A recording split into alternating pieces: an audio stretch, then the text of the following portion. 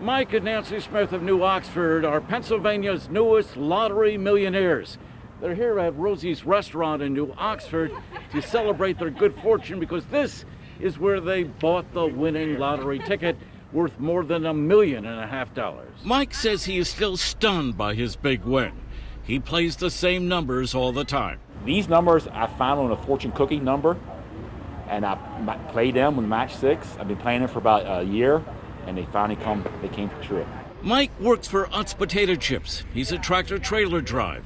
He's been working for Utz for 38 years.